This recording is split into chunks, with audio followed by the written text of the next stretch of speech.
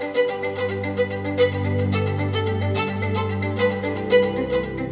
name is Greta Thunberg. I am 15 years old and I'm from Sweden. We have to listen to, to the scientists. People are dying. How dare you?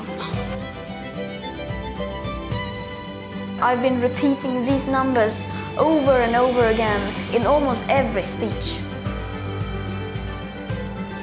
How dare you? I say we will never forgive you.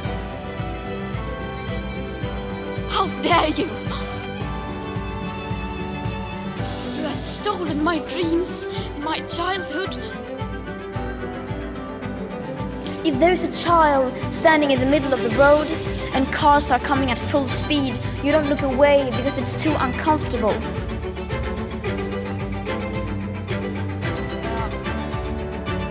How dare you?